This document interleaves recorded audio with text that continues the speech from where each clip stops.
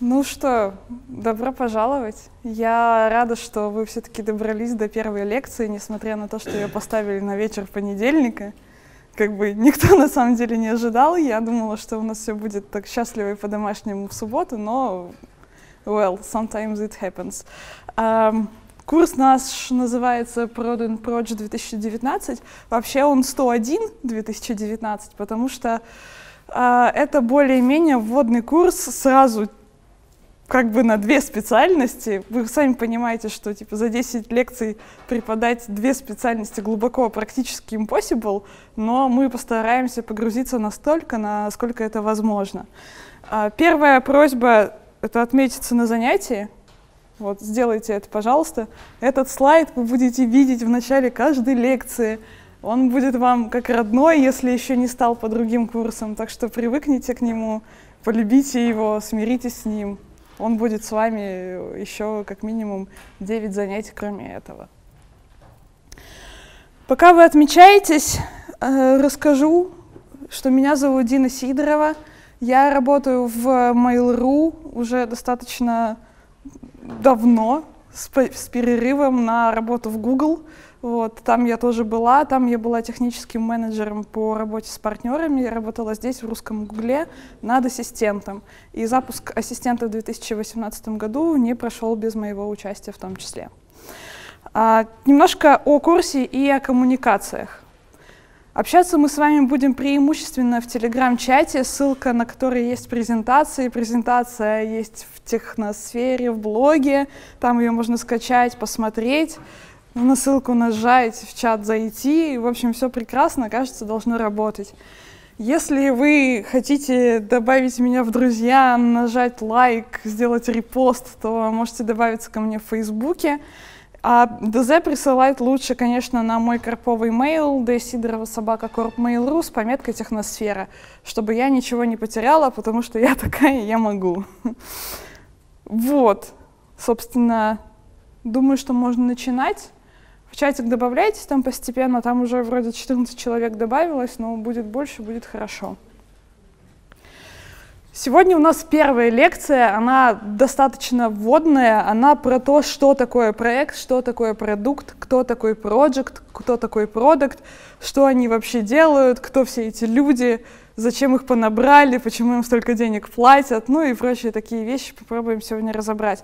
По крайней мере, в первой части будем говорить об этом, а во второй части переступим, приступим немножко к hard-скиллу, поговорим о том, как анализировать рынок, как сегментировать аудиторию. Это будет тоже такое достаточно вводное занятие, вводный материал, но надеюсь, что мы успеем разобрать достаточно много. Так вот, что же это такое? Что такое проект и что такое продукт? Хорошо вам видно, да? Не очень, да, хорошо? Ладно, я, я все равно буду больше говорить, поэтому там так, ну, просто текст. А, проект — это временное предприятие, которое направлено на создание какого-то уникального продукта, услуги или результата. Окончание проекта наступает, когда цели проекта достигнуты или когда все поняли, что цели достигнуть невозможно. Тогда его просто сворачивают, кидают в мусорку, говорят, ну, очень жаль, конечно, но, видимо, не судьба. А, это всегда болезненный опыт, этого стараются не делать, момент этот максимально оттягивают, но иногда все-таки приходится поступать именно так. Продукт — это товар или услуга, которую можно предложить для рынка и которая будет удовлетворять ну, в лучшем случае, хочется надеяться, потребности пользователей. Что все это значит? Это значит, что продукт можно улучшать за счет выпуска и выполнения проектов. Допустим, у нас есть вот наш большой-большой поиск в мейле. Э, его можно улучшать миллионом разных способов. Можно делать более красивые снипеты, можно делать новые классные инфокарточки, можно подключать новых партнеров. И процесс по разработке карточки, нового типа карточки, по улучшению сниппета, все это в какой-то мере проекты. То есть в рамках улучшения продукта мы можем запускать много-много-много-много проектов. А в результате каждого проекта у нас получается такой мини-продукт. Значит, что? Утка в яйце и вот это вот все, утка в зайце. А, значит, в одном большом продукте может быть много-много маленьких подпродуктов. Это все очень классно и очень масштабно звучит, но так вышло, что все, всем этим кому, кому-то надо заниматься. Хотелось бы, конечно, чтобы оно само работало, но практика показывает, что само не работает. Очень жаль, но вот как-то так вышло. Поэтому есть два специально обученных, в лучшем случае, человека, project и product manager. Между ними обычно есть какая-то разница. Чаще всего в IT-проектах, в IT-продуктах получается так, что project, он за, отвечает за удовлетворение потребностей, задач, команды и индивидуальных потребностей. А продукт отвечает за создание новых продуктов, за разработку их стратегии, за анализ рынка, за продвижение, за планирование KPI, за формирование требований, за определение назначения, за roadmap, за вот это вот все. Кажется, что у проекта вроде как бы дел поменьше, но нет, на самом деле вообще ни разу не поменьше, как бы это, это, это неправда. Процессов очень много, эта сфера очень большая, очень широкая, там очень много чего нужно знать и много чего нужно уметь. Но дело в том, что в продукт и в project management просто так с налета попасть ну, достаточно сложно. Осложняется это еще сейчас тем, что мы все дальше и дальше идем в технологии. Мы достигаем каких-то, блин, космических вообще абсолютно результатов.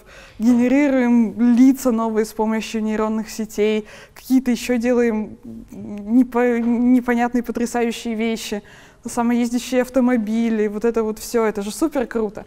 Но дело в том, что все усложняется, и усложняются области. Поэтому есть вопрос, который очень многих волнует, можно ли я приду и начну сейчас всем управлять вот здесь. Вот я, допустим, занимался тем, что, не знаю, у меня было несколько магазинов, и сейчас я приду в IT и начну управлять большим Data Science проектом. У меня плохие новости. Нельзя. Ну, может быть, можно, если вы супер-супер-супер крутан, и вы управляли проектами типа и продуктами лет 15, вы знаете все, что может пойти не так, у вас достаточно высокий уровень абстракции, вы можете переложить свой опыт. Ну, в таком случае, окей, ну, может быть, что-то и получится, но это вряд ли. Скорее всего, что нет. Поэтому идти в сферу и пытаться чем-то управлять, чего вы не знаете, звучит достаточно странно. Ну, то есть, как вы себе это представляете? Вы приходите, сейчас я буду делать м, распознавание лиц по фотографии. Так. Ну, я вижу фотографию. Это, в принципе, неплохо. Как это работает? У меня есть глаза, у меня есть фотография, наверное, это все. Но как бы нет, этим же дело не заканчивается, да, там невероятный какой-то совершенно слой математики, который нужно учить там миллион лет, и чтобы это как-то отложилось в голове, а потом еще, чтобы это заработало, столько же примерно программировать на плюсах, которые надо учить еще миллион лет. То есть все достаточно комплексно. И если не понимать масштаба э, всего этого действия, то можно очень-очень очень сильно наколоться. Хотелось бы, чтобы у вас такого опыта не было, поэтому если вы пойдете все-таки в сферу управления проектами и захотите, чем-то рулить, свыкнитесь с мыслью, что вам нужно идти туда, понимая, что вы будете делать, чем вы будете управлять. Просто так прийти и с насколько все взять, скорее всего, не получится. Теперь поговорим о том, что и кому нужно знать. Начнем с того, что нужно, что нужно знать проекту. В, на обоих слайдах в первой строчке есть два слова, которые очень важны. Должен быть здравый смысл и у того, и у того. То есть нужно понимать, что 9 женщин за один месяц не родят ребенка. Как бы вам сильно этого не хотелось. Ну, то есть даже если очень сильно хочется, нужно понимать, что вот физиологические наши особенности таковы, что этого случится просто, ну, это, этого не может быть. Можно очень постараться, но, скорее всего, ничего не получится. Что нужно знать дальше? Предметную область. Но это мы возвращаемся немного к предыдущему слайду, и как бы очень не хочется, чтобы вы про это забывали, потому что это действительно очень важно. Что еще нужно знать проекту? Про процессы. Процессы — это то, как мы что-то делаем.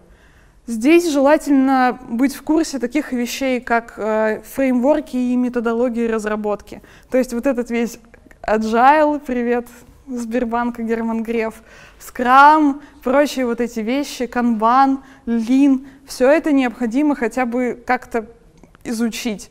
Ну, желательно, конечно, не как-то глубоко, но уж что-то можно глубоко, а что-то как получится. Ресурсы. Важно понимать, куда и сколько вы потратите ресурсов. Это как, знаете, в героях. Вот у вас есть пять дерева, и можно либо магистрат построить, а можно, я не знаю, там, что, что, что, что, что, для грифонов что-нибудь, да, сделать улучшение. А, а можно не сделать ничего, можно подкопить и подождать до следующего уровня. Поэтому вам тут нужно понять, вы этих двух своих разработчиков поставите на эту задачу, или вы добавите еще одного и сделаете еще какую-то крутую, но посложнее. Или вы подождете и сложите их там вместе, но помните, что они вам ребенка не родят все равно. Как бы, может быть, вы бы хотели, но нет. И сделайте что-то крутое. Тут надо отдавать себе отчет, что у вас есть и что и как нужно делать. Здесь же про команду. Нужно знать, как с людьми разговаривать, как с ними общаться, что делать, чтобы они с вами начали общаться в ответ. Потому что часто получается так, что с разработкой это не всегда просто. Когда вы приходите и так, ну, Петя, как дела? И Петя на вас. Ты кто? Почему я должен с тобой разговаривать? Мне тут нейронки фитить ты вообще почему пришла? Не, уходи от меня, уходи. То есть вот так вот просто не работает. Это все достаточно сложный процесс. Э, люди очень умные на самом деле, вот, ну, всегда или практически всегда. Разработка — это реально очень умные, одаренные ребята. Поэтому тут нужен немножко особенный подход к ним. А про методологии я уже сказала, но пусть будут на всякий случай отдельно. Цели — очень важно понимать, какие у продукта и у проекта есть цели, чтобы им следовать. Чтобы не просто делать ради того, чтобы делать, а чтобы делать и чувствовать, что вы улучшаете что-то, что вы улучшаете своими процессами и проектами свой продукт, что вы делаете проект лучше, что вы улучшаете жизнь команды, что вы улучшаете жизнь своих пользователей, что вы улучшаете бюджет и качество компании, в которой вы работаете. Ну и, конечно, еще коммуникация. Если абстрагироваться от команды, а говорить о более глобальных коммуникациях, например, о коммуникациях внутри компании, нужно понимать, что это реально очень важный скилл. Найти человека, с которым вам нужно переговорить. Потому что бывает такое, что вы сидите и думаете, М, так, хорошо, вот сейчас я это сделаю, о, тут, кажется, нужно что-то про рекламу. Так, кому мне позвонить из рекламы? И сидите и думаете, так, я ненавижу звонить. Ненавижу звонить. Нужно тогда найти контакт в Телеграме. Блин, а вдруг он не ответит? Что же тогда делать? Ладно, напишу в агенте. Блин, он не заходил в агент с прошлого года. Напишу письмо. Блин, он же не прочитает письмо, мне же нужно прямо сейчас. Может быть, мне к нему сходить? Ну, в общем, все эти процессы, они реальные, они имеют место быть. Нужно с этим смириться, что с людьми общаться придется. Все, ну, никуда от этого не уйти вы как менеджер должны и будете обязательно общаться с людьми. Смиритесь с этим, полюбите их настолько, насколько это возможно. Не испытывайте ненависти, и вас будет ждать успех. Что нужно знать продукту? Здесь опять же два главных слова — это здравый смысл.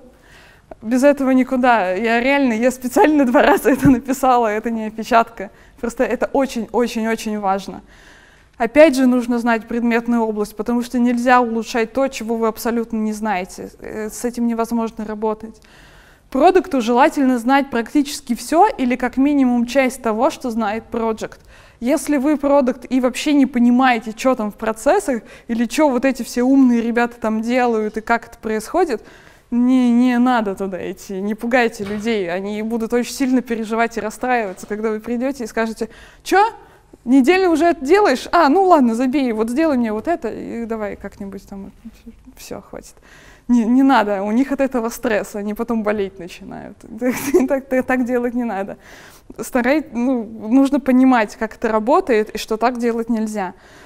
Но это не только про команду, а еще и про пользователей. Нужно понимать, как проводить UX-исследования, исследования пользовательского опыта, как проводить Customer Development. Об этом мы поговорим с вами обо всем на второй лекции, там достаточно много материала.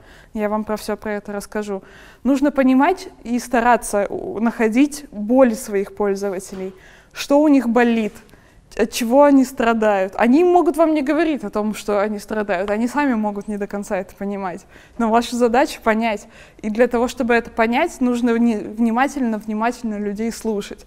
Сначала кажется, что это нужно сидеть и слушать специально, ну, иногда на самом деле вначале так приходится делать. Сидишь, так, так, ладно, теперь скажи мне вот это, сейчас я спрошу у тебя вот это.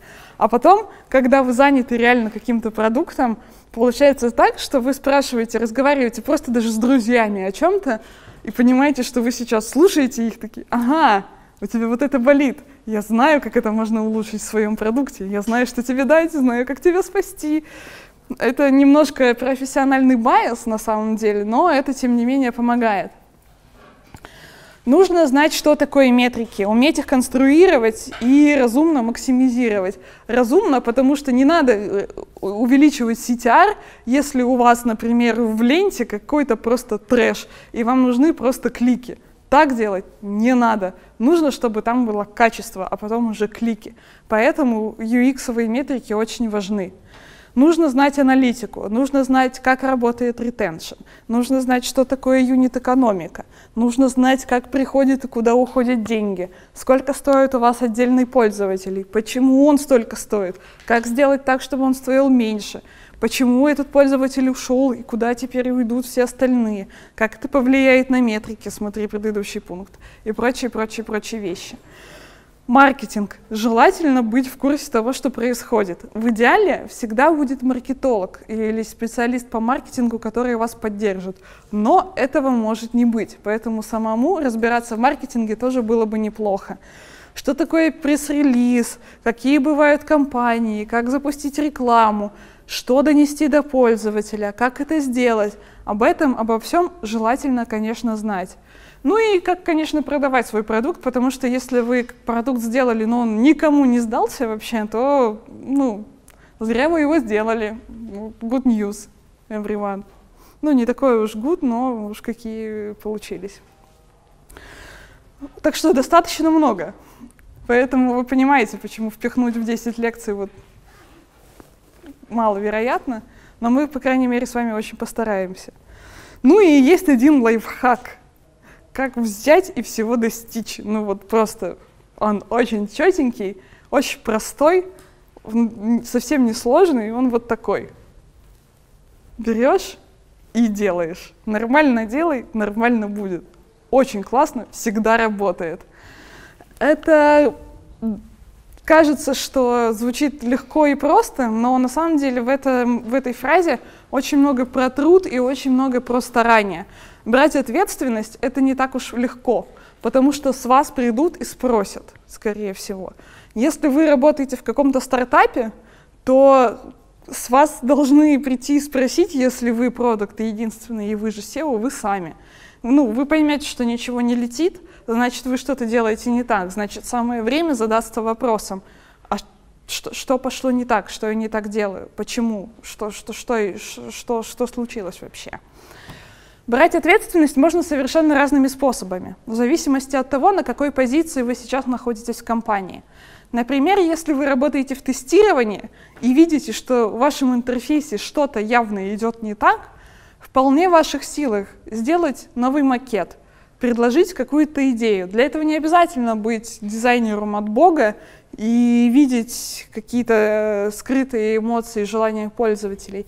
Для этого можно как минимум накидать какой-то мокап, прийти к текущему менеджеру и сказать, смотри, я вижу вот так, может, давай попробуем это сделать? Ну и посмотреть, конечно, на фидбэк, который вы получите. Конечно, сам Бог велел сделать это, если вы работаете на позиции аналитика, когда у вас куча данных, вы заведуете метриками, вы все это видите, видите, как продукт меняется, что в нем внутри происходит, приток и отток пользователей, как все это работает.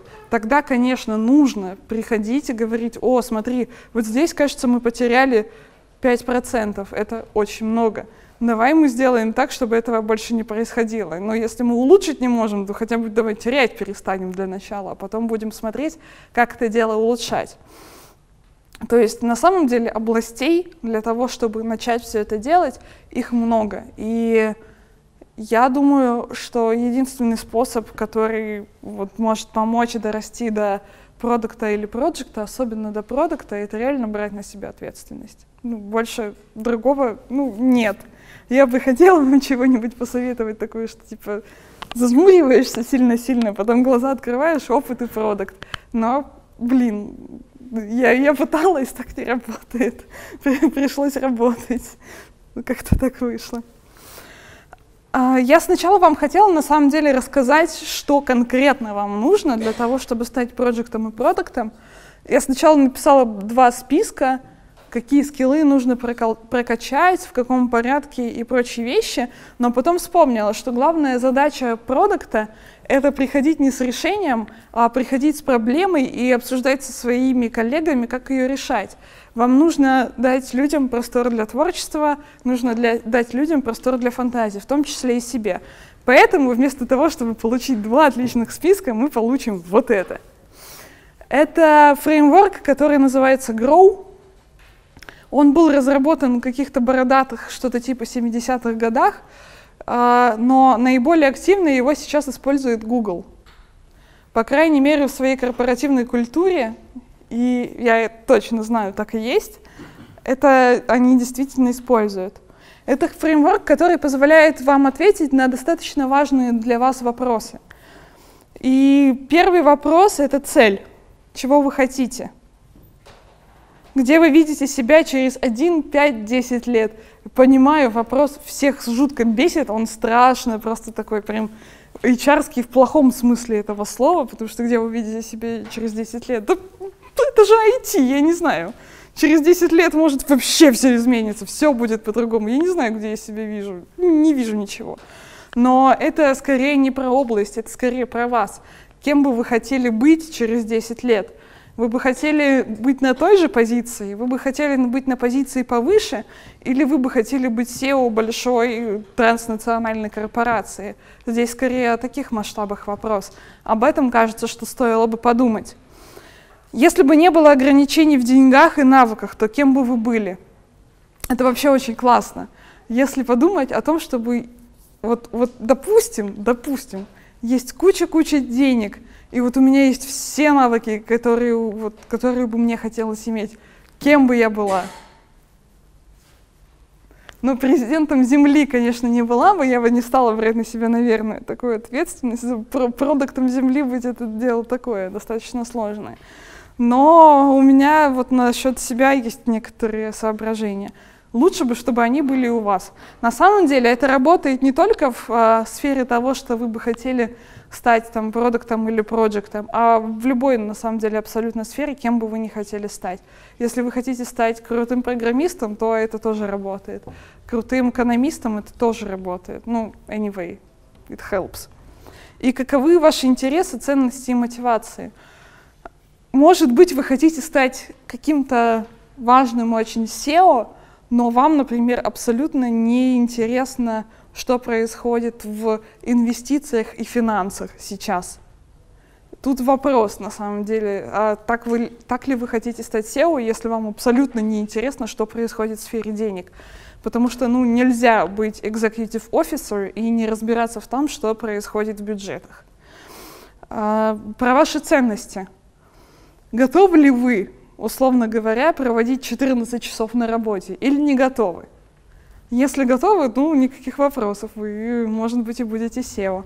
А если не готовы, то посмотрите, сколько времени у вас займет путь до SEO, потому что, скорее всего, сильно больше, чем если бы вы будете проводить на работе по 8-9 часов.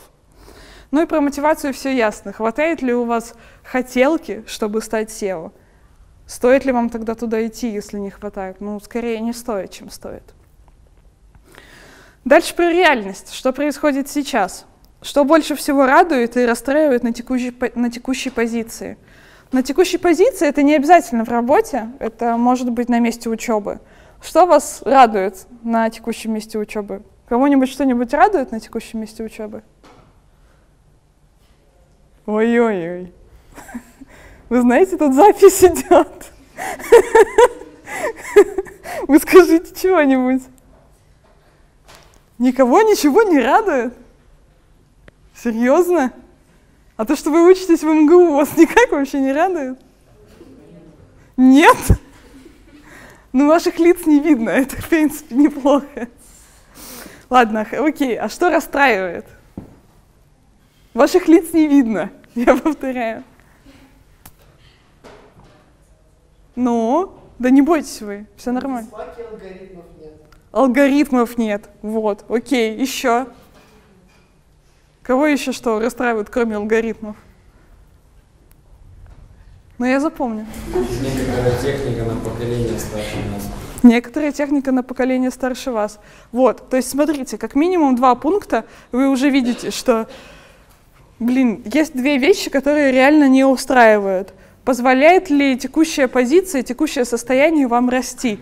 Ну, actually на самом деле позволяет, потому что вы студенты, у вас куча-куча возможностей, ну, кроме техники и алгоритмов, судя по всему. Поэтому, в принципе, идти есть куда, и куча всяких курсов, и много чему можно поучиться. И также нужно смотреть, какой фидбэк вы получаете от коллег. Я сейчас не просто про преподавателей говорю, в том случае, если вы студент, а в том числе от ваших сокурсников, согруппников. Я почему спросила про то, что вас не устраивает, потому что следующий раздел — это options, what could you do, чтобы вы могли с этим сделать. Вот, например, Кому-то не хватает алгоритмов.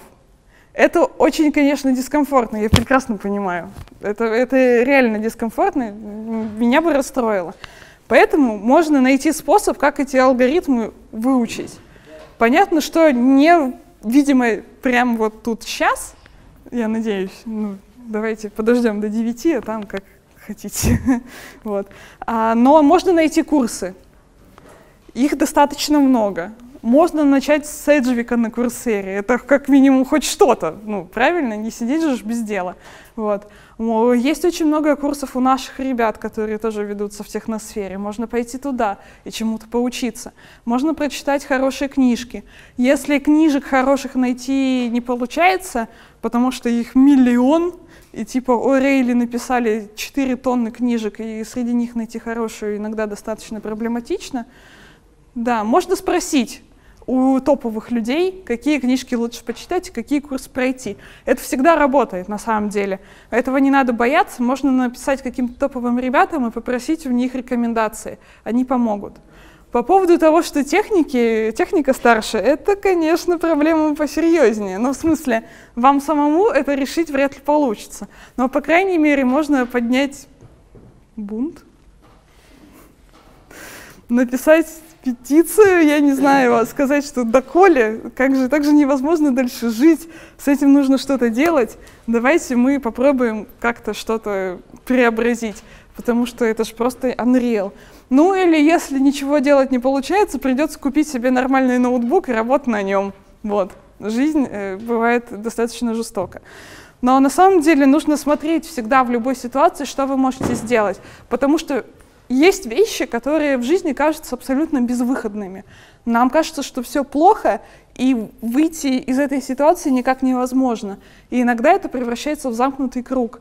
И здесь всегда сложно выход найти, но всегда, абсолютно всегда возможно. Всегда есть какой-то крючок, за который можно зацепиться, подняться и пойти дальше.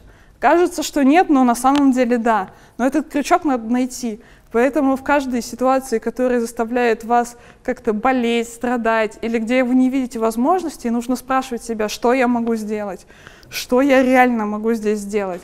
Ведь я же точно что-то могу. Находить это и, собственно, стараться воплощать. Что еще? За какие новые задачи можно взяться? Если это про студенчество, то бинго, опять алгоритмы. Если это про текущую работу, которая надоела, это же опять миллион курсов. Это опять а, взять, брать на себя ответственность за новые задачи, которые еще не решены. Если вам кажется, что все задачи решены, то это не так. Все задачи не могут быть решены. А если они все решены, то что-то пошло не так в проекте или в продукте. Значит, э, он недостаточно амбициозный, потому что вся работа сделана быть не может. Всегда будет огромный-огромный пласт, к которому еще можно только даже подступиться, а не просто сделать. Какие новые контакты и менторства можно найти? Это возвращает нас к пункту о том, что можно спросить крутых ребят. На самом деле очень многие не против того, чтобы вы регулярно задавали им какие-то вопросы, чтобы они могли давать вам какие-то советы. Это прокачивает не только вас, а еще и тех людей, которые эти советы и полезные материалы вам дают, потому что это заставляет как-то из себя пушить и, искать какую-то новую инфу постоянно. Это, например, взять, если наше преподавание здесь в техносфере, нас, специалистов из Мейла, это заставляет сесть, перекопать всю свою профессиональную область, найти последние наработки и включить их в материал. Потому что мы же не даем вам ну, какие-то сведения из учебников там 60-х, 70-х годов. Мы говорим о каких-то последних исследованиях, потому что они актуальны, они сейчас имеют смысл, а область очень динамичная.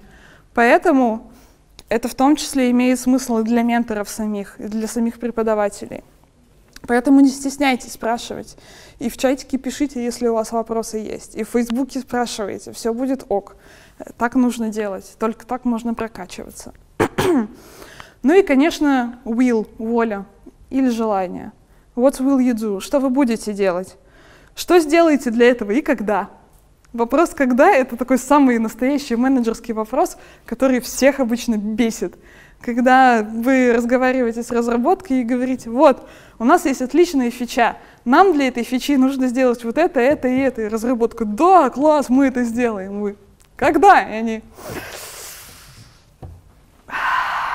ну, ну, ну, на следующей неделе. И вы таким, ну и с, этой, с этого момента начинается интересное, о чем мы поговорим, по-моему, на четвертой лекции, про то, как планировать работу, как декомпозировать задачи. Вы узнаете о том, как это делать, как это делать более-менее безболезненно и что для этого можно предпринять. В общем, вопрос «когда» на самом деле очень важен, потому что можно поставить себе цель выучить алгоритмы, но можно не сказать «когда». Поэтому теоретически можно выучить их лет через 20. Вы же не сказали, когда, правильно? Ну, у вас цель просто выучить. Это нормально. Нет, так лучше не делать. Дедлайн он должен быть. Он должен быть в первую очередь лично для вас, не для кого-то еще. Не для того, чтобы кому-то этим похвастаться, а для того, чтобы вы сами понимали, что вот у вас есть срок, что вам нужно это сделать, что у вас на самом деле еще миллион вещей, которые не учены, которые вам неизвестны, но они вам еще в жизни понадобятся и пригодятся. Поэтому нужно все-таки стараться держать себя в более-менее разумных рамках. Какие ресурсы будут полезны какие навыки помогут достичь цели? Какие ресурсы? Значит, вам нужно найти курсы, значит, вам нужно найти книги, значит, вам нужно найти преподавателя. Значит, если это необходимо, нужно найти место, значит, нужно найти аппаратуру. Значит, нужно, скорее всего, начинать это делать вот прямо сейчас, потому что даже для меня список звучит как типа ого-го. Кажется, что пора приступать. Какая поддержка руководства и команды могла бы помочь? Здесь, если вы работаете в компании, нужно спрашивать у своих коллег или у своих руководителей о том, что вот смотри, я хочу научиться нормально разговаривать с людьми. Я знаю, что ты это делаешь нормально, расскажи мне, как это делать. Можно я пойду, похожу с тобой на 10 совещаний, чтобы понять, как ты ведешь переговоры. Ну, есть такой случай. Если это ваши коллеги по группе, по учебе, то можно спросить их, что вот у тебя вот это получается супер классно, а я вроде стараюсь, но что-то, видимо, недопонимаю.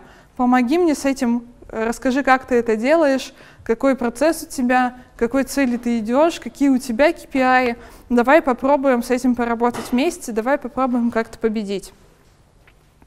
С этим понятно? Моргание значит да. Окей, хорошо. Следующий слайд, он про то, где взять практику. Первый пункт — это про заведение своих пэт-проектов. Pet Project — это небольшой проект, которым вы занимаетесь в свободное время. Pet, ну, от слова любимый, любимец. Это может быть все что угодно. Может, вы вяжете. Может, как хурма, а может быть, спицами. Ну, как повезет. Вот. А, смотрите, что вам удобно. Может быть, вы занимаетесь благотворительностью и пилите какой-то благотворительный сайт. Может, вы просто, не знаю, помидоры продаете угораете поэтому. Ну, почему нет? Все может быть. Смотрите, какие у вас pet-проекты, и старайтесь их решать, старайтесь их доводить до конца. Посмотрите на свою жизнь как на продукт. Я понимаю, что это звучит супер, типа как коучей, но реально иногда это может помочь. Это возвращает нас к этому слайду, типа, что вы хотите, кем вы себя видите сейчас и через 10 лет. Поэтому посмотрите, кем, кто вы сейчас и кем вы видите себя лет так через 10. И что вам для этого нужно сделать. Как вам добиться того, чтобы этот продукт принес рынку пользу. Как сделать так, чтобы этот продукт люди потом покупали? То есть как вам быть нужным человеком? Как в профессиональном плане, так, возможно, и в личном. Зависит от того, что вы хотите качнуть. Заведите проект по улучшению одной из ее областей. Ну, я вот про жизнь. Тут можно качать работу, можно качать личку, все, что хотите. Зависит от того, что вам нужно. Геймифицируйте. Ищите ачивки, берите их. Например, если вы жуткий социопат, заведите себе ачивку пообщаться с пятью людьми за месяц. И пообщайтесь. И потом скажите, yeah, я смог. А потом, чтобы получить level, сделайте пообщаться с десятью людьми еще за следующий месяц. Добейтесь этого, и так смотрите, идите по лесенке вверх, вверх и вверх. Это должно помочь. Но это обычно на самом деле помогает. Может, звучит как-то маркетингово э, и достаточно странно, но это действительно помогает решать какие-то жизненные проблемы. У меня, например, в прошлом году был KPI разобраться в имейле. И для этого мне пришлось пройти там пять курсов, чтобы хоть немножко начать складывать и понимать, что такое SGD, и не бояться аббревиатур. В этом году у меня KPI разобраться в биохимии. Не спрашивайте, почему, просто я странный человек. Вот. Но тем не менее, я сижу и там каждый вечер стараюсь читать какое-то количество страниц из учебника или проходить какие-то курсы. Нет, мне для работы это не нужно, но мне это нужно для себя. И мне кажется, что такие вещи, как биохимия и математика, они вообще максимально развивают мозги и понимают, помогают больше и лучше понимать реальность. Поэтому не отказывайте себе в удовольствии, работайте. Что еще можно сделать? Можно посмотреть на любимые сервисы и подумать, что действительно полезного можно в них добавить. Это связано немножко с вашим заданием, которое вы получали при отборе на этот курс. Можно посмотреть, опять же, на ваши любимые музыкальные сервисы и подумать, что в них добавить. Можно посмотреть на что-то еще, на тот же Facebook, Instagram, ВКонтакте, в зависимости от того, что вы пользуетесь, чем вы пользуетесь, и подумать, что можно добав- добавить туда действительно полезного. Полезного. И почему это еще не сделали. Это очень важный шаг — Потому что вы думаете, о, вот класс, вот сейчас я в YouTube добавлю в YouTube музыку, чтобы там можно было узнавать, кто играет в этой группе на басу в этом году, в этом альбоме. Ну, то есть, серьезно, оно кому-то кроме вас надо? Ну, вряд ли. Ну, ну, ну ладно, но может есть 20 человек в мире — которым это понадобится. Но 20 человек по сравнению с миллионной аудиторией Ютуба это вообще абсолютно несерьезно. Поэтому тут нужно реально понимать, что нужно делать, а что делать не нужно. Плюс к тому, то, что я вот сейчас привела пример, это будет супер дорого в разработке. Это типа два месяца где имейл и инфраструктура, и все вместе, и ночами не спят, и вы приходите их кормите потом по выходным, потому что они по выходным тоже работают из-за этой вашей дурацкой задачи, которая никому не нужна. Поэтому подумайте, что реально нужно и почему люди еще этого не сделали. Возможно, не додумались, а возможно, подумали и решили, что это действительно не имеет никакого смысла. Ну и не делайте лишнего. Придерживайтесь пути. По крайней мере, старайтесь. Это связано с предыдущим пунктом, но еще и с тем, что, например, если вы вяжете то и любите вязать, то не обязательно вязать и прыгать через скакалку одновременно. Ну, кажется, что скакалка здесь будет лишней. Она добавит, конечно, красок в вашу жизнь, но не факт, что поможет вам довести дело до конца. И не факт, что проект получится каким-то хорошим. Поэтому над этим нужно реально сильно задуматься. Чем подвох? Про этих двух людей, проекта и продукт-менеджера. Подвох в том, что в небольших проектах и стартапах проекта может не быть. Тогда продукт будет, ну, по крайней мере, если он так не делает, то это, скорее всего, не продукт. Отвечать как за продукт, так и за процессы, происходящие в разработке. А если продукта нет, то, скорее всего, что ничего не будет. Это вот такая жестокая правда. А, бывает такое, что, и чаще всего в стартапах бывает так, что проекта нет. Есть человек, который ответственное лицо, или есть несколько таких ответственных лиц, и они обычно занимаются всем.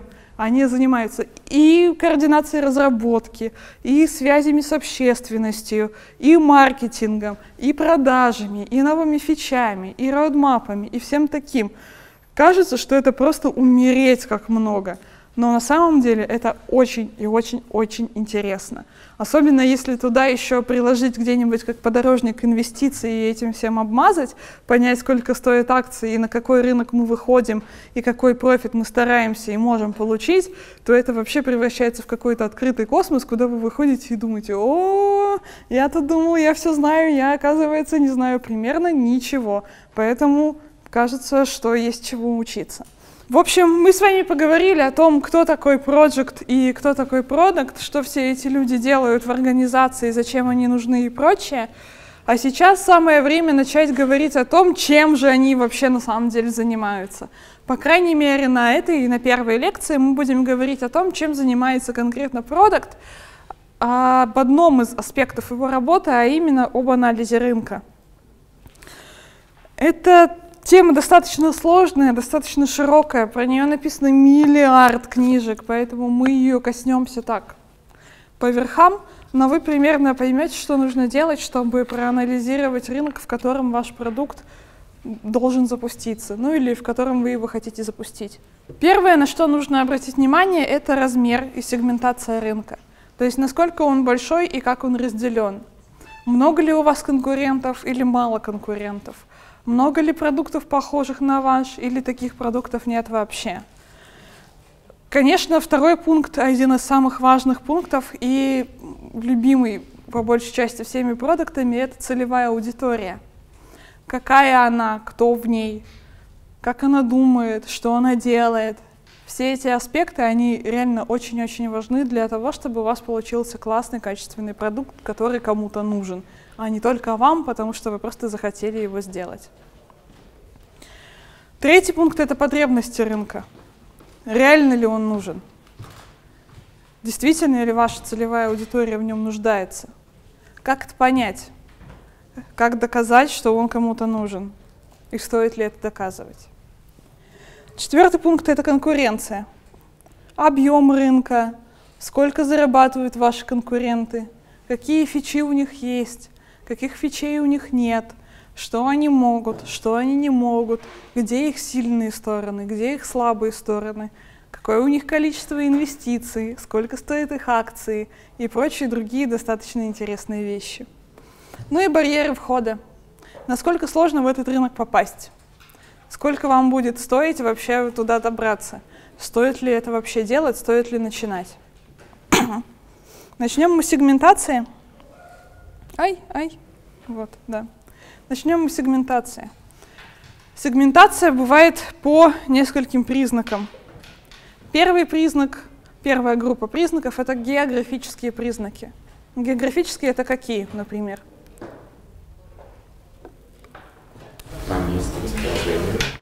Спасибо. Вы так все боитесь слова географические? Никто, никто не покусает вас, ну, не надо бояться. Это действительно по тому, где находятся ваши конкуренты и по тому, где находятся ваши пользователи. То есть жители ли это столицы или это жители периферии? Жители это больших городов-миллионников или это жители городов 100-200 тысяч населения? Демографические.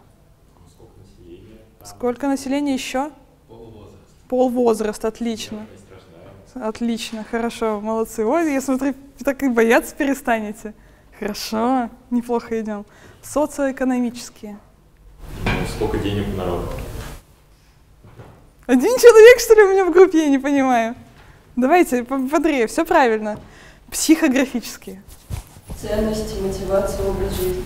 Во, отлично, абсолютно верно, круто.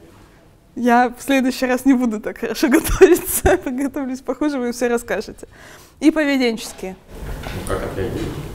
Да, как отреагируют, если это продукт, например, вернемся к помидорам. Если это помидоры, то как они покупают эти помидоры, где они их покупают, почему они их покупают, зачем они их покупают, что они потом с ними делают и прочие-прочие другие вещи. Все правильно. В общем, по этим признакам аудиторию и конкурентов в том числе можно сегментировать. Но мы перейдем сейчас к аудитории, поскольку это, кажется, наиболее важный пункт, от которого на самом деле стоит отталкиваться. И вторая лекция про UX-исследование и про Customer Development будет по большей части посвящена именно этому аспекту вашей целевой аудитории. Когда вы думаете о вашей целевой аудитории, о целевой аудитории вашего продукта, стоит задаться, задаться следующими вопросами. Достаточно ли людей, соответствующих критериям вашей целевой аудитории? То есть, допустим, вы определяете для себя целевую аудиторию как люди со средним доходом. Средний доход, допустим, московский средний доход, да, ну это типа 40-50 тысяч рублей, что-то такое. А, допустим, это люди 30 25-35 лет.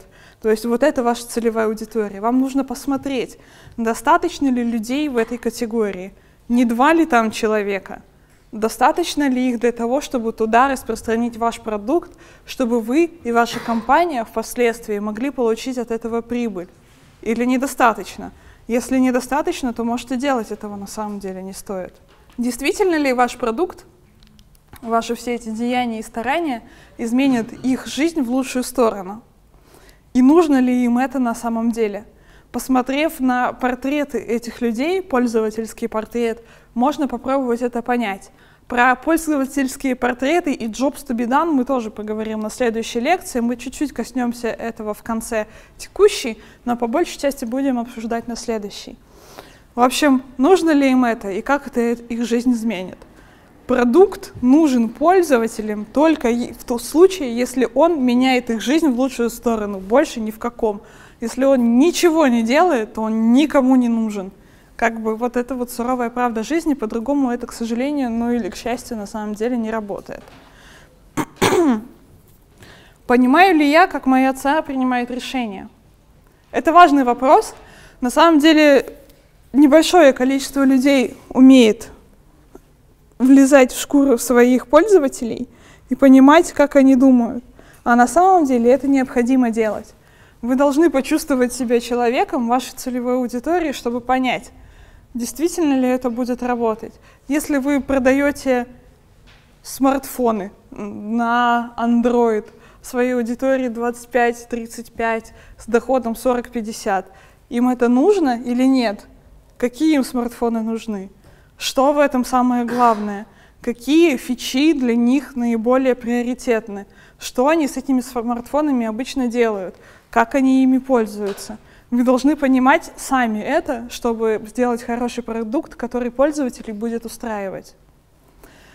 Могут ли они себе этот продукт позволить? Допустим, что вы выпускаете тот же самый смартфон на платформе Android, и у вас целевая аудитория та же самая, 40-50 тысяч рублей доход, 25-35 лет возраст. И тут вы выпускаете смартфон на Android со всеми функциями, которые им нужны, за 80. А? Да, ну можно, конечно, взять в кредит, но кажется, что это типа ну, не лучший способ. Ну, конечно, может быть, кто-то будет, будет этим пользоваться, но это не iPhone. Тут как бы проблема. То есть тут э, этот вопрос статусности, который поднимает iPhone и Apple своими продуктами, он здесь как бы не в таком наличии, в сильно меньшем. Поэтому человек реально четыре раза подумает, стоит ли ему покупать в кредит смартфон на Android за 80 тысяч рублей. Ну, как-то это достаточно странно. Так вот, могут ли они себе позволить? Это важный вопрос, которым, над которым реально стоит подумать. И могу ли я достучаться до них, и насколько это сложно?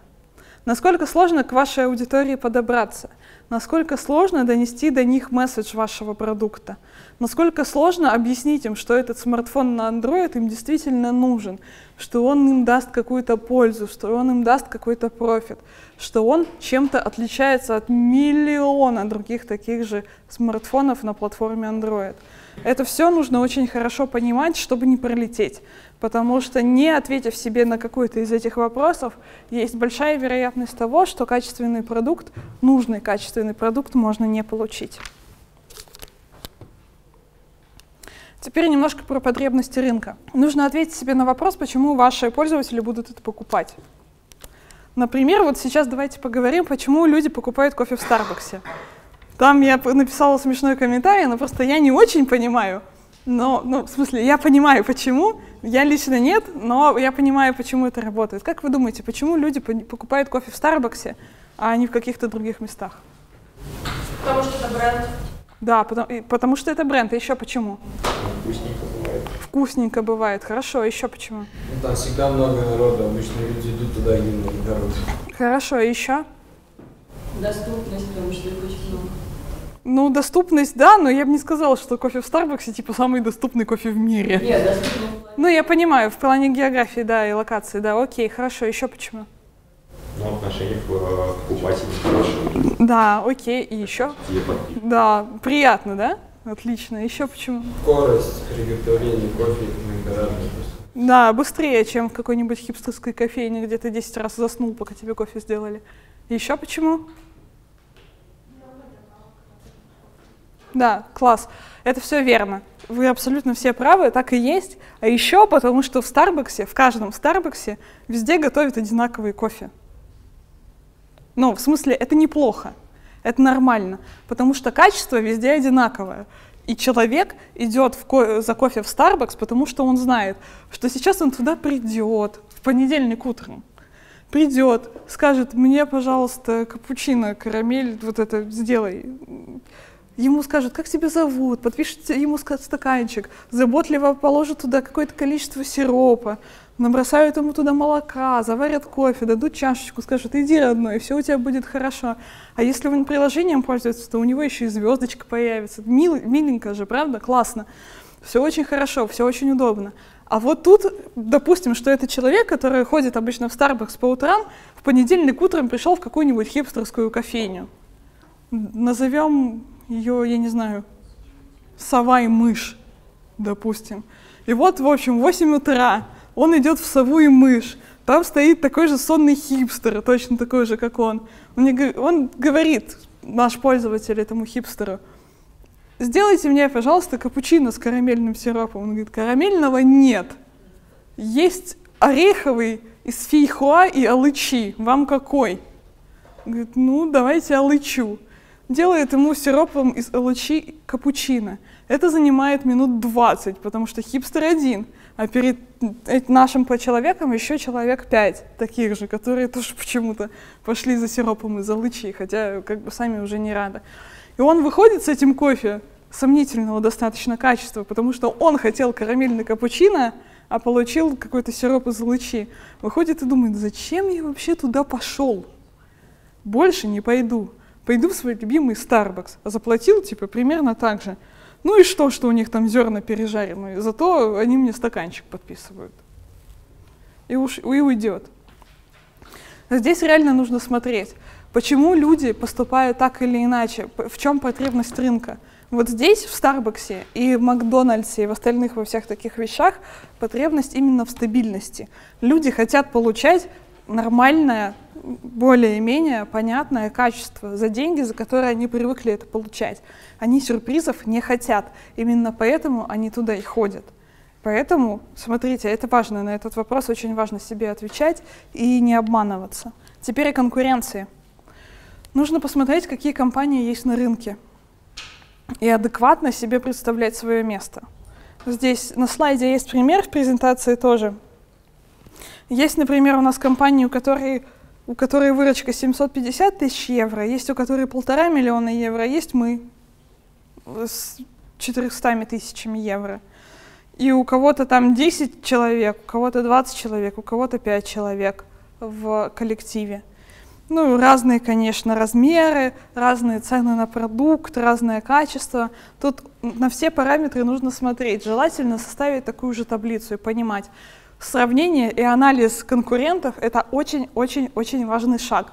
Вы пока его делаете, вы можете прийти к достаточно большому количеству новых идей. Потому что вы смотрите и понимаете, о, у них этого нет. Потом вы задаетесь вопросом, а почему у них этого нет? Думаю, а, поэтому у них этого нет. Ладно, ладно, хорошо, это значит мы делать не будем. Но если вы анализируете нескольких конкурентов и находите у них какие-то, у кого-то есть, у кого-то нет, вы можете прийти к такой схеме, к такой смеси, которая для вас будет исключительно полезна. И вы на основе этого сможете сделать какую-то фичу, которая будет пользователям приносить счастье, от которой они будут испытывать удовольствие. Это очень важно. Делать такой анализ — это очень-очень круто. Во-первых, чтобы понимать, что есть, а что нет, а во-вторых, чтобы понимать, какой у вас объем рынка и сколько у вас денег вообще, и сколько вы можете заработать. Это тоже супер важно, поэтому не нужно об этом забывать. Делайте анализ конкурентов. Если вы находитесь в студенческой среде и вы считаете себя как продукт, делайте анализ конкурентов. У кого есть какие способности, у кого каких способностей нет, кто что может, кто что не может. Только старайтесь быть объективными, не надо делать «я все могу, сейчас все заботаю за два дня» и все, никто мне не ровен. Нет, ну это, конечно, неплохо, здорово, если вы так можете, но скорее всего, что так работать не будет. Поэтому смотрите, все должно быть адекватно. Следующее, о чем мы поговорим, это барьеры входа. Факторы объективного или субъективного характера, из-за которых новым фирмам трудно или невозможно пробиться на рынок. Есть рынки со свободным входом, ну то есть где, пожалуйста, заходи, у нас куча всего, конкуренция, ну, есть, но, в принципе, не слишком серьезная, можешь там свою кофейню открывать, всем будет норм. Рынки с неэффективными барьерами для входа — это рынки, на которых другие компании мешают э, новым компаниям войти, но это не особо приветствуется, вот это мешать. Рынки с эффективными барьерами для входа — это рынки, на которых другие компании тоже могут мешать, но вот это мешание, а, сопротивление, оно считается одной из допустимых и важных политик на этом рынке. И рынки с блокированным входом. То есть это рынки, на которые зайти очень-очень сложно. Это, например, какие-нибудь госкомпании, в которых, ну, для которых стать конкурентом достаточно сложно. А может быть даже и не нужно. На самом деле характеристик рынков сильно больше. Это просто четыре примерные. Если вы хотите этот вопрос дальше поресерчить, то, пожалуйста, you're welcome. Это будет очень здорово и классно. Но если нет, то можете начать хотя бы с этой классификации. Дальше поговорим о том, что провел анализ рынка, проведи анализ себя. Но я тут не про ваши какие-то физиологические, биохимические характеристики говорю, а скорее про себя, я имею в виду про вас как продукт и про ваш продукт в том числе. Есть достаточно большое количество способов проводить анализ собственного продукта, и одним из таких способов является gap-анализ. Кто знает, что такое gap? Еще? Вот, пропуск, пробел, разрыв. Скорее так. Промежуток неплохо, да, но нам нужно что-то более драматичное в этой ситуации. Нужно понять, что чего-то не хватает. В gap-анализе мы определяем текущее состояние, определяем состояние идеальное в будущем, ну и, собственно, строим мост от первого ко второму. Это та же штука, которую мы уже частично встречали во фреймворке GROW, то, о чем я вам уже говорила. И для того, чтобы провести gap-анализ, есть несколько инструментов. Я расскажу вам о двух инструментах, но вы можете, опять же, погуглить, поискать и найти еще больше количества. Давайте разберемся с первым, с вот-анализом. Кто-нибудь уже знает, что это такое? Да? Отлично. Что знаете? Это штука, которую используют для анализа. Рисует как э, сектора, Да. э, где пишут свои сильные стороны, слабые стороны, возможности и угрозы.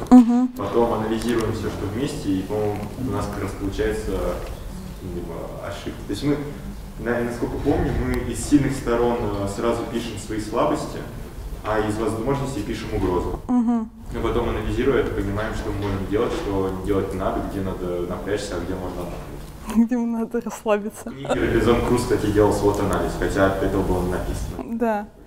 А вы пробовали сами его делать? Да, в универе заставляли. Звучит, конечно, так себе. Но тем не менее, да, собственно, это действительно так и есть. Из этого и состоит. Но для тех, кто не знает, давайте обратим внимание на то, что у нас тут имеется в SWOT-анализе. Это действительно strengths, weaknesses, opportunities и threats. Вот. И в сильных сторонах это то, что у нашей компании получается делать хорошо обычно. Ну, тут есть некоторый список, он здесь написан, он есть презентация, но тем не менее давайте немножко разберем. В, сильных, в сильные стороны тоже хочется записать качества, которые отделяют нас от наших конкурентов. В смысле хорошие качества, не в смысле, что у нас продукт плохой, а чем мы в хорошем смысле от них отличаемся. Также в сильные стороны можно записать внутренние ресурсы, такие как, например, очень опытный, знающий штат сотрудников. Или, например, еще такие вещи, как э, интеллектуальная собственность, капитал, собственные технологии и прочие такие штуки. Что делает нас реально сильными на этом рынке? В чем мы сильны? Что мы можем дать рынку, чего остальные люди дать не могут? Остальные люди или остальные компании? Это очень приятно обычно заполнять. Все такие, «М, сейчас мы такие сильные, мы всем все расскажем, все будет супер класс. Второй пункт сильно неприятнее. Он про слабости. Здесь нужно написать, что не хватает в нашей компании. Например, например, если брать тот же Starbucks и его кофе, то что в кофе Starbucks не хватает? Вот, а? Качества не хватает. Да, ну это достаточно субъективно, кого-то, ну, кого-то реально этот кофе устраивает, ничего сказать не могу. Но, например, не хватает разных степеней обжарки. То, чего, то, что хипстерские всякие кофейни могут предложить. Они этого предложить не могут. Им и не очень-то и нужно на самом деле, но тем не менее, это можно записать в их слабости. А, вещи, которые конкуренты делают лучше, чем, собственно, мы. Ну, опять же, возвращаясь к Starbucks, это, опять же, могут быть степени какие-то обжарки. Или, может быть, забота об окружающей среде, потому что очень многие хипстерские кофейни сейчас э, дают какие-то бонусы за то, что вы наливаете кофе в стаканчик, который сами с собой принесли. В Старбаксе, конечно, тоже это можно купить, этот стаканчик, и там кофе налить, но там, по-моему, никаких плюшек за это не дают, насколько мне известно. А всяких этих новых хипстерских маленьких кофейнях можно кофе на 50% дешевле купить, если вы придете со своим эко, органик, ну, вот этим вот всем. В принципе, достаточно приятно. Ограничения по ресурсам. К Starbucks это не особо применимо, но тут можно говорить о том, что, например, в нашей команде там есть 20 человек, которые занимаются этим проектом, а в команде Гугла есть 20 тысяч человек, которые этим проектом занимаются. Разница достаточно существенная. Кажется, что это как-то влияет все-таки на то, что в продукте происходит. И, конечно, неясное, непонятное никому предложение о продажах. Ну, это может быть как минус. Этого может и не быть, это не всегда есть та- такая проблема, но может и быть. Типа, а мы вообще чего пытаемся сделать своим продуктом? Мы какой месседж доносим? С этим тоже нужно разобраться.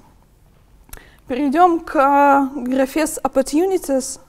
Здесь у нас что? Undeserved markets for specific products. Незаслуженные рынки для особенных продуктов. А, Например, это незанятые рынки для продуктов, которые чем-то особенные, имеют какие-то отличия. Или небольшое, небольшая конкуренция в области работы вашего продукта или проекта или вашей компании. Или все больше и больше возникающая необходимость в том, что ваш продукт, ну, в появлении вашего продукта. Или press media coverage, покрытие медиа и прессы вашей компании. Все это может хорошо сказаться на вашем продукте, на вашем проекте, на ваших продажах, на вашем маркетинге впоследствии. Не всегда. Если вы сделаете что-то плохое, то покрытие ме- медийное будет для вас не лучшим выходом, но тем не менее это может случиться, но тогда это будет не opportunity, скорее всего, а переедет в столбик с угрозами. В угрозах у нас чаще всего первый пункт — это все больше и большее количество конкурентов, которые появляются на рынке, особенно в IT. Сейчас у нас что ни день, то новый стартап, что ни день, то новая компания, что ни неделя, то новая технология, что ни месяц, то новый пейпер от кого-то э, типа DeepMind или Гугла с какими-то новыми открытиями, за которые сразу все садятся и начинают повторять. И это возвращает нас к циклу, что что ни день, то новый стартап, что ни день, то новая технология. Так что это все достаточно динамично, бодро, и на самом деле это одна из угроз. Окружающая среда, которая постоянно меняется. В этом плане я имею в виду какие-то политические, социальные, экономические факторы. Вот у нас, например, вы знаете сейчас про закон о, возможно, исключительно русском интернете. Он, скорее всего, как-то повлияет на то, что происходит. Как? Не знаю. Вот. Но мы об этом э, с вами разговаривать сейчас не будем. Может быть, потом, в кулуарах. Здесь есть, опять же, про негативное покрытие в масс-медиа и меняющиеся отношения пользователей к вашей компании. Это можно посмотреть на нашем примере, на примере мейла. Есть продукт, к которому все относятся достаточно сомнительной любовью. Вы знаете, мы тут запустили, когда две недели или три недели назад новый браузер, который называется Atom. И в масс-медиа в одной из статей было сказано Mail.ru, новый браузер на А. Мы так, ну ладно, хорошо. В принципе, конечно, неплохо, достаточно интересно. Но, в общем, если был какой-то фейл, Амиго, конечно, всех нас заставил попотеть, и теперь все еще очень-очень-очень долго будут это помнить.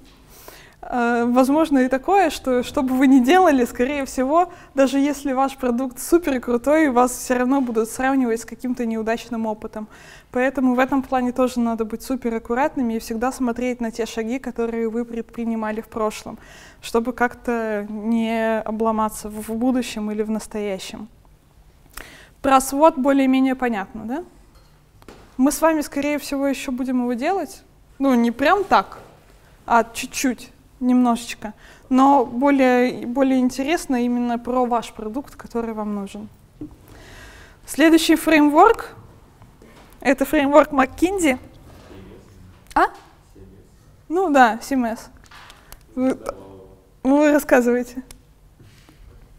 Вот там весь прикол в том, что каждое название на английском это с S начинается. А, так, Так он и называется CMS. так.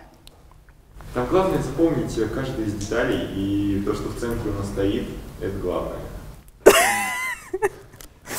Как вам это удалось? Мы э, его сдавали, на- наизусть учили, что каждое что называется и что за что отвечает плюс-минус. Ну, Там по названию, в принципе, понятно. Ну, по названию, в принципе, понятно. Тут, наверное, нужно помнить, что McKinsey делит вот эти 3S нижние и 3S верхние на soft и hard. Soft относится к команде, по большей части, к скиллам команды, к а, каким-то паттернам поведения внутри компании. А hard относится, собственно, к стратегии, к структуре и к системам, которые используются внутри. А shared values — это про, господи, core, так и скажу, окей.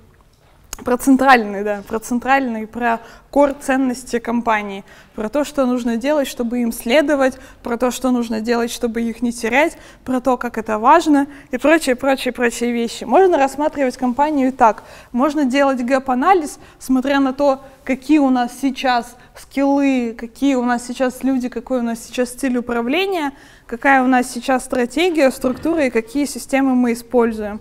И смотреть, чего мы хотим добиться, какие мы в идеале хотим стратегии, структуры и системы, какие в идеале мы хотим скиллы, коллег и стиль управления в нашей компании. Не забудьте, что все это мы сейчас с вами обсуждали в рамках вот этой штуки, потому что я сейчас, кажется, достаточно бодро это рассказала, но не рассказала, что в итоге с этим делать. А, Еще раз, мы сначала определяем, где мы находимся сейчас, определяем, где мы хотим находиться в будущем, через год, 5-10 лет, через полгода, через квартал, и от этого отталкиваемся и смотрим, что мы реально можем сделать, чтобы достичь цели. Сейчас поговорим про интересное, достаточно интересное. Кто-нибудь с этим знаком? Value proposition — то, как предлагать ценность вашего продукта, вашей компании, вашего всего. Это частично затрагивает на самом деле э, нашу следующую тему про UX и CastDev и про пользователей, но мы чуть-чуть совсем об этом поговорим. Здесь вот этот э, шаблон, он разделен на две части, на квадратик и на кружочек. Бинго. Простая геометрия, обожаю. Сначала на самом деле заполняется кружочек, потом заполняется квадратик. Кружочке заполняются следующие вещи. Gains, pains и jobs to be done. Gains — это то, чего мы хотим достигнуть, чего пользователи на самом деле хотят достигнуть, не мы, пока не мы, пользователи. Боли, собственно, те боли, которые у пользователей есть. И jobs to be done — это то, чем пользователи руководствуются, когда что-то делают. Смотрите, здесь есть большая разница, и многие компании чаще всего используют так называемые пользовательские портреты. Вы увидите это на следующем слайде. А, там будет пример пользовательского портрета и будет пример Jobs to be done. Ну, на нем мы посмотрим разницу тогда, сейчас, чтобы не говорить.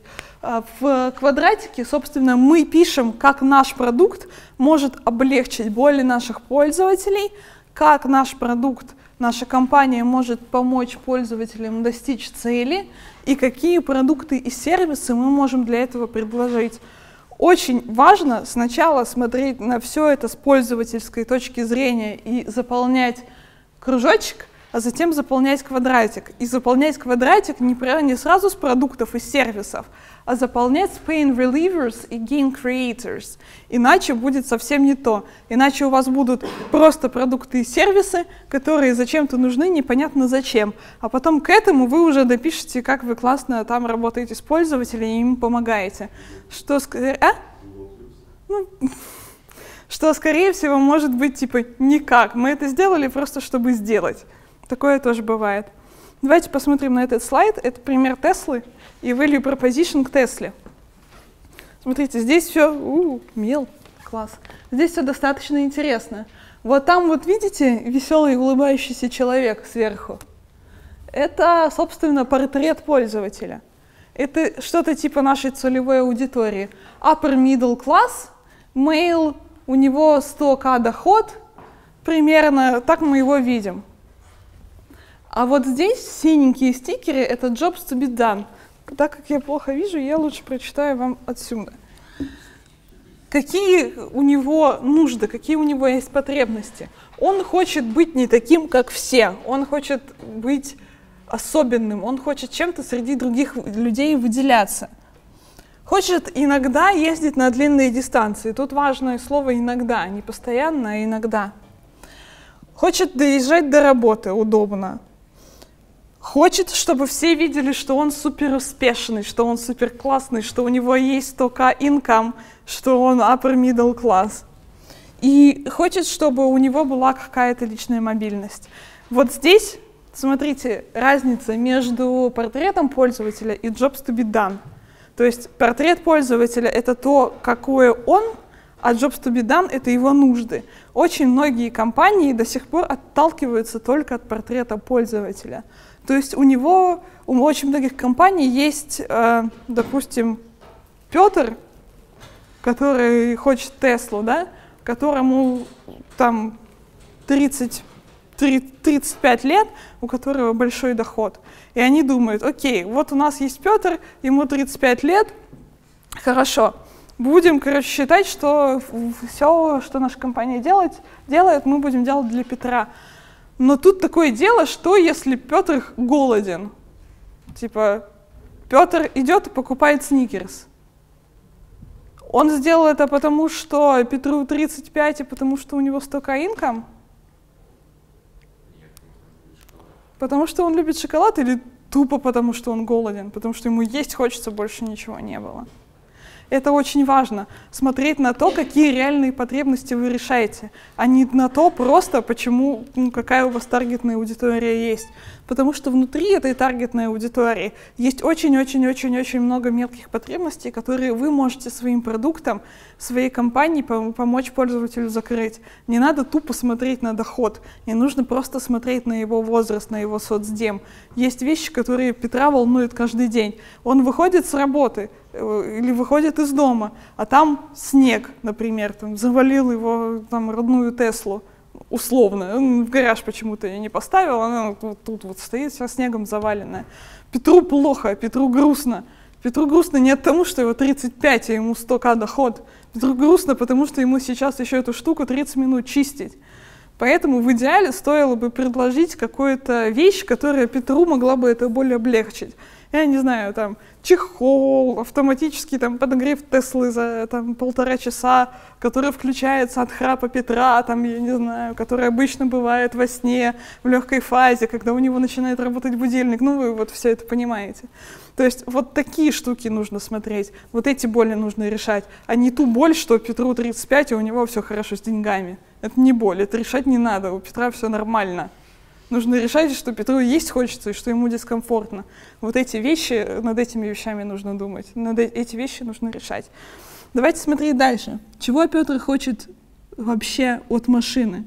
Он хочет, чтобы бренд все знали, он хочет, чтобы там было достаточно места, хочет, чтобы она была безопасная, хочет, чтобы могла достаточно сильно разгоняться и на большие расстояния ездить, хочет, чтобы был классный дизайн, хочет получать от друзей комплименты, хочет, чтобы она работала как спортивная тачка классная, и чтобы это была high-end тачка на батарее. Высокотехнологическая, чтобы все у нее было круто. Ну, понятно, чего хочет Петр. Петр хочет, чтобы у него все было хорошо. У него и так хорошо, хочется, чтобы было еще лучше. Понимаю. Это нормально. А что у Петра болит? Давайте посмотрим. Что вокруг очень мало станций для подзарядки. Что он боится, что батарейка у него сядет где-нибудь посередине трассы. Петр, конечно, скорее всего, не поедет в Крыжополь на Тесле, но может случиться так, что в какие-нибудь э, места его все-таки занесет, а там, может быть, станции и не будет. И поэтому Петр несколько переживает, ехать ли ему на Тесле в Крыжополь или не ехать, и что его там будет ждать. Ну и, конечно, он волнуется, что что-то может произойти. Это абсолютно нормально. Когда мы покупаем такие вещи, как машина, э, мы переживаем о безопасности в первую очередь. И давайте мы посмотрим, что мы можем Петру дать Теслой. Мы можем ему дать классный performance, мы можем дать ему хай-тек ощущение и 17-дюймовый тачскрин, принципе, учитывая то, что Петру хочется быть высокотехнологичным и перед друзьями похвастаться, то, что у нас будет 17-дюймовый хайскрин, э, тачскрин, это хорошо, потому что к нему сядет друг, и Петр скажет, смотри, у меня тут 17-дюймовый тачскрин. Ничего себе, так можно было. Но Петру это надо. Петру просто это нужно. У него жизнь такая, у него все хорошо, ему тачскрин нужен. Почему нет? а, нужно, чтобы мы фокусировались на дизайне и стиле, и чтобы машина была как можно более автономной. Это должны сделать мы. Это наши цели, цели для того, чтобы Петр свои цели мог, свои потребности и свои цели мог закрыть. Как мы можем более Петра облегчить? Мы можем сделать то количество мест, которое нужно. Мы можем сделать классную сеть по э, зарядке наших Тесл и можем уменьшить, ну, сделать достаточно небольшое время подзарядки, то есть 45-90 минут, даже если Петр едет в Крыжополь, и у него вдруг села батарейка, ну уж как-нибудь 45 минут он кофе, который он взял в Старбаксе в стаканчик, сможет попить, вот, и подождать, пока Тесла зарядится. Ну и, и в связи с этим, что мы можем Петру предложить? Давайте смотреть. 8 лет гарантии на батарейку, разные опции, модель S с такой-то определенной мощностью, модель X и модель 3. Ну, то есть все разные модели в разные комбинации, у которых какие-то разные параметры. Одна из них, скорее всего, Петра устроит, и Петр будет абсолютно счастлив, исходя из того, что у него есть. Это value proposition для Теслы. Запомнили, да? Посмотрели. Теперь пойдем дальше. Вот это value proposition для Toyota. Здесь у нас, смотрите, middle class male, то есть уже другой, не upper middle class, а middle class male. 50-75 тысяч у него доход – и у него кажется, что немножко, немножко почему-то здесь написано совершенно другое. Мы предлагаем нашему, мы почему-то считаем, что у нашего middle class male цели вот такие. Доехать до работы, чтобы доносить и имидж успеха, чтобы у нас были 4-7 сидений, чтобы все наши друзья знали, чем мы пользуемся и прочее, прочее, прочее, прочее. А? Это написано. Да, да, actually да, на самом деле. Посмотрите, здесь вот эта правая, левая, левая часть, она взята из Теслы, на самом деле, левая часть. А вот правая часть, она взяла, взята из Тойоты. А портрет человека, он тоже взят из Теслы. Потому что middle class man, ну, он, в принципе, может выглядеть и так, но как бы учитывая реалии, в которых делали вот этот э, сам, сам фреймворк value proposition, сейчас вы увидите middle class man, которого они имеют в виду, и все сразу поймете. Здесь получается достаточно большая дыра между тем, что мы пытаемся сделать, и между тем, что пользователь хочет. А мы почему-то решили, что там Ивану, допустим, ну, что Ивану нужно то же самое, что и Петру. Потому что у него доход там на 25 тысяч меньше всего, значит, он хочет примерно того же. Ну, типа, ну, просто на 25 тысяч дешевле. Вот такая математика. Как смогли. Как смогли, так и посчитали. Но на самом деле так ведь не работает.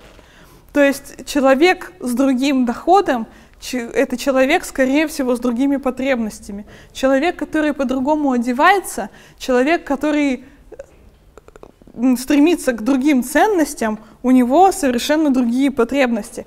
Поэтому, если бы мы человеку, который хочет high-end, который хочет хвастаться перед друзьями, который хочет 17-дюймовый тачскрин у себя в машине, предложили бы Toyota, наиболее вероятно, что этот человек бы расстроился, что это бы ему не подошло. Но, возможно, он бы даже Toyota купил, попользовался бы ей месяц-два, а потом решил, что она его потребностям не соответствует, что она его проблемы и боли не закрывает. И он с этим больше никакого дела иметь не хочет. Toyota он продаст, пойдет и купит Теслу. И будет абсолютно счастлив. И мы так, ну, а мы, а мы, а мы, а мы, а мы, а мы хотели. Поэтому еще раз, очень важно определить своего пользователя. Очень важно отдавать себе отчет, что ваши пользователи хотят и как вы можете им помочь. Вот на этом слайде все правильно. Здесь у нас портрет того, кто есть middle class man, кто получает 50-75 инкам. Он бородат не потому, что ему на бритву не хватает – Нет, просто такая картинка, так лучше отражает реальность. Давайте посмотрим, какие потребности у человека, который с таким доходом и примерно такого же возраста. Он хочет быть таким же, как и его друзья. И это абсолютно нормально, это неплохо. То есть Иван от Петра отличается не тем, что Иван хуже, он просто, он просто другой.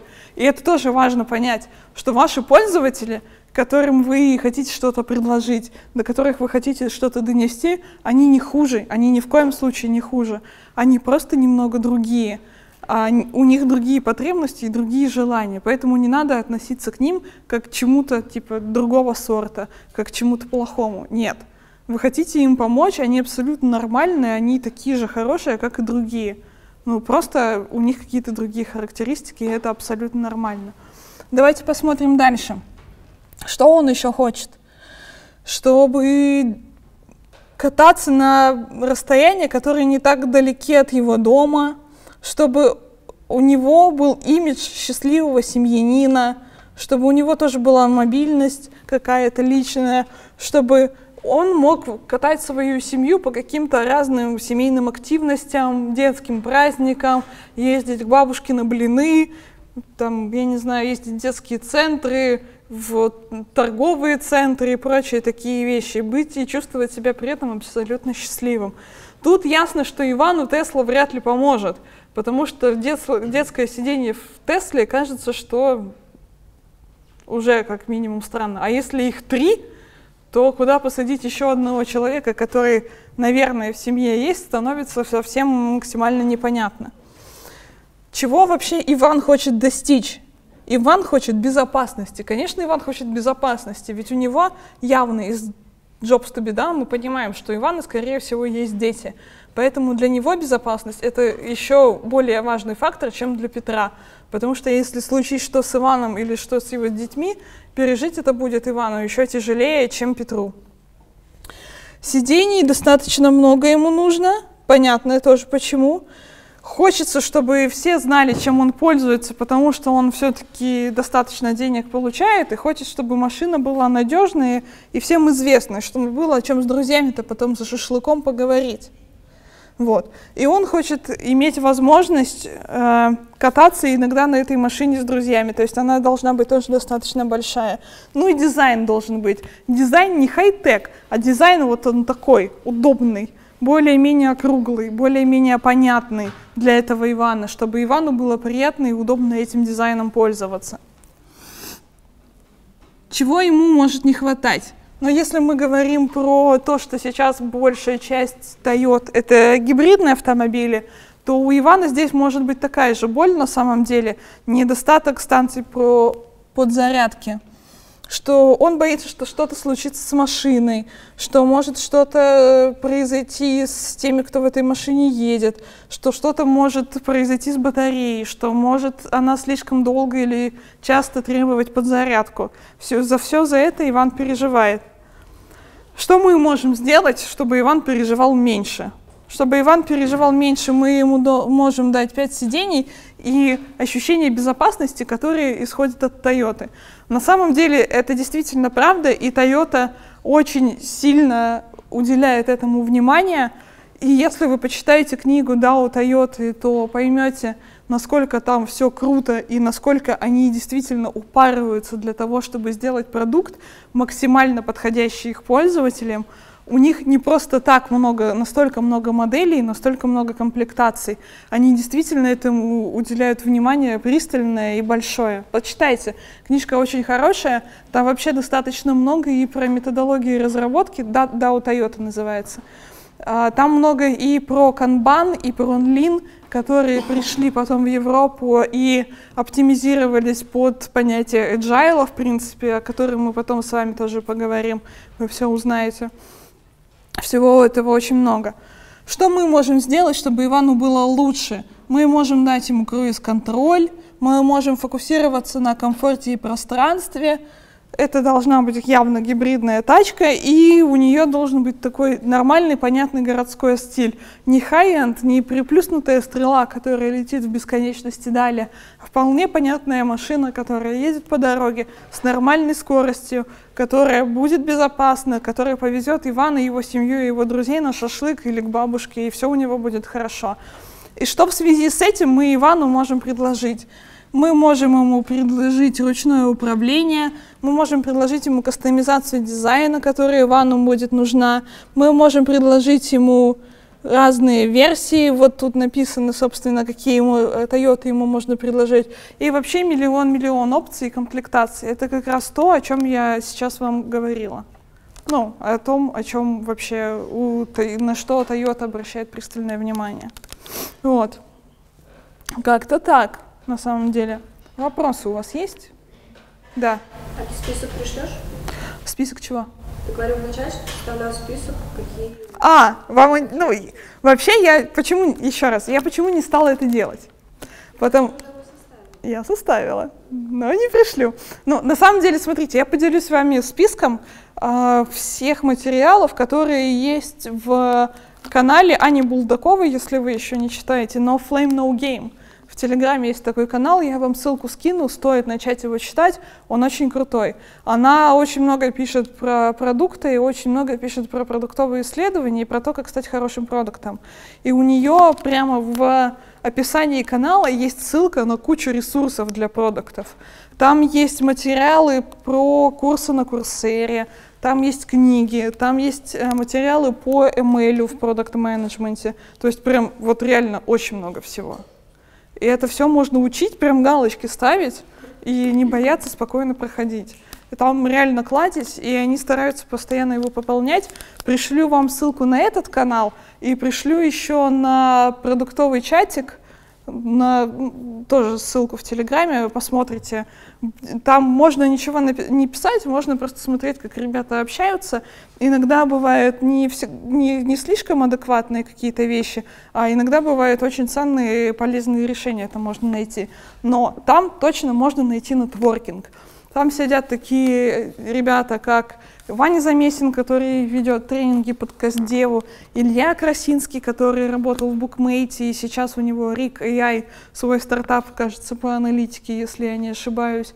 А, Миша из Каенга, забыла, господи, его фамилию, прошу прощения, Миша, если ты это увидишь. В общем, он тоже очень э, крутой, и там можно его найти.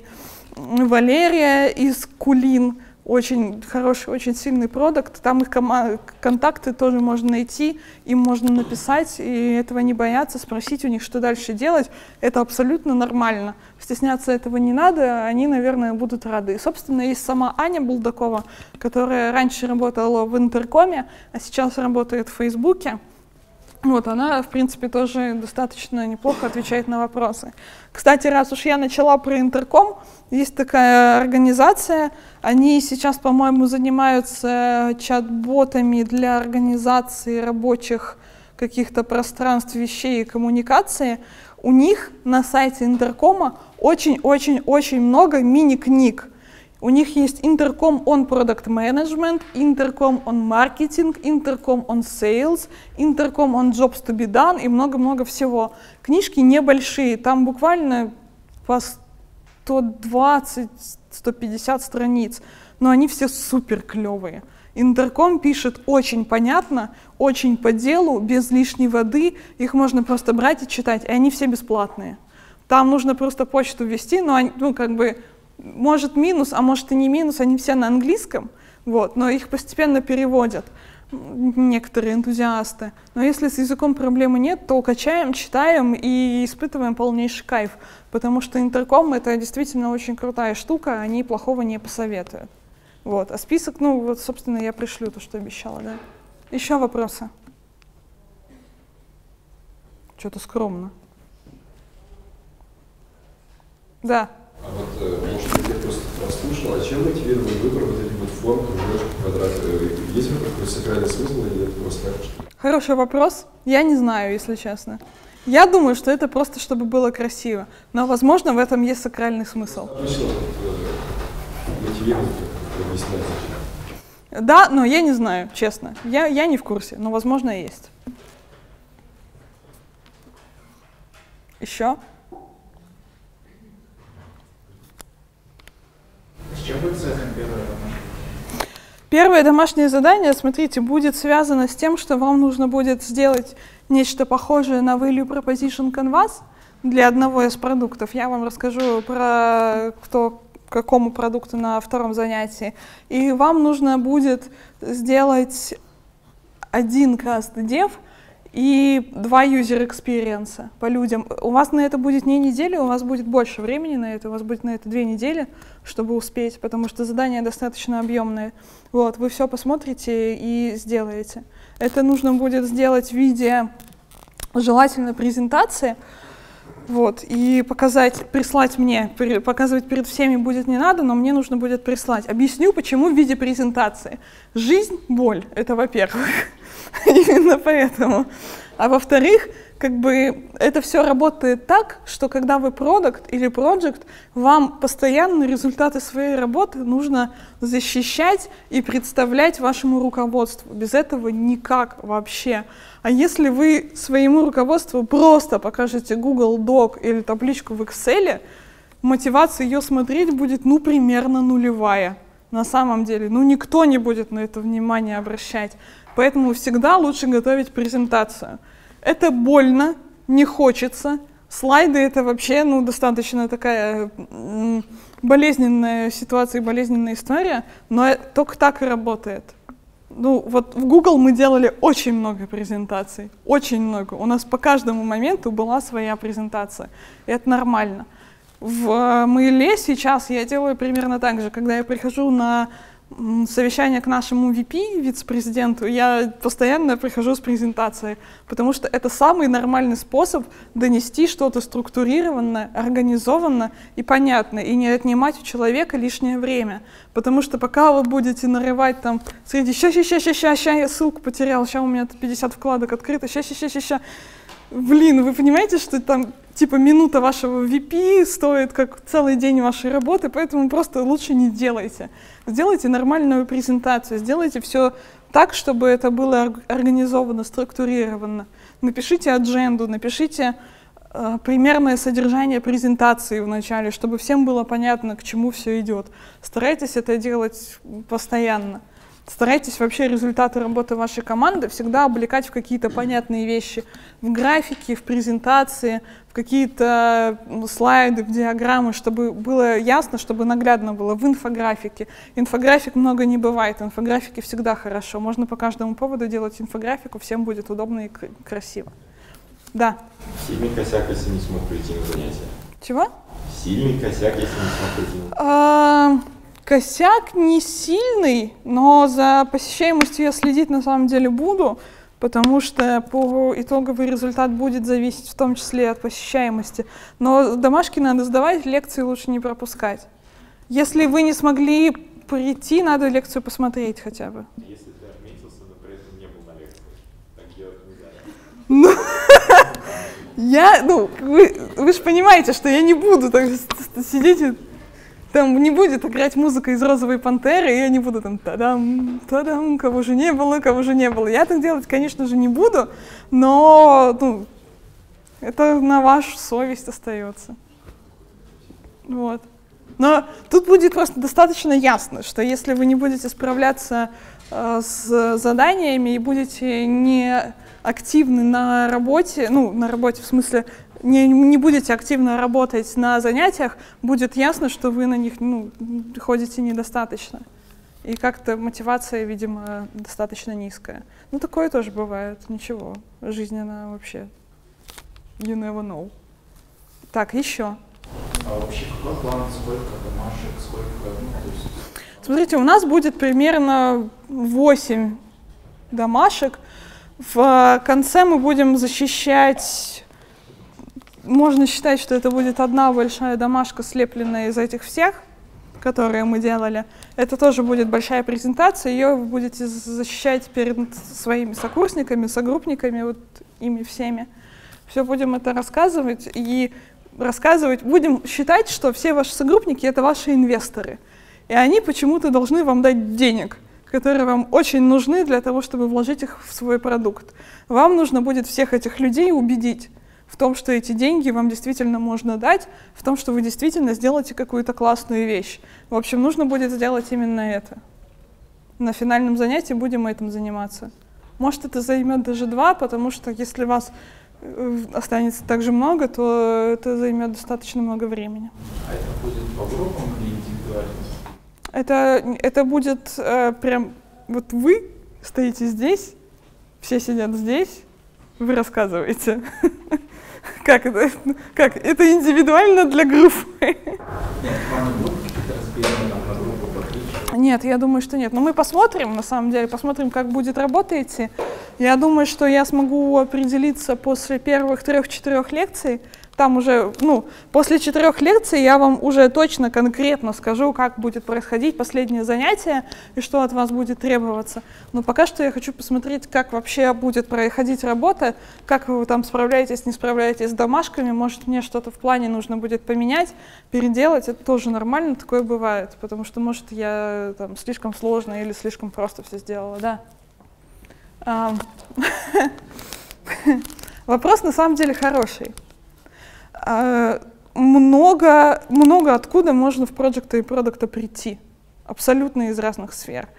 А, Некоторые программисты переходят работать в проекты и продукты. Им это дается не всем, но некоторым дается достаточно сложно за счет того, что вот как раз вот проблема с барьером коммуникационным у многих есть.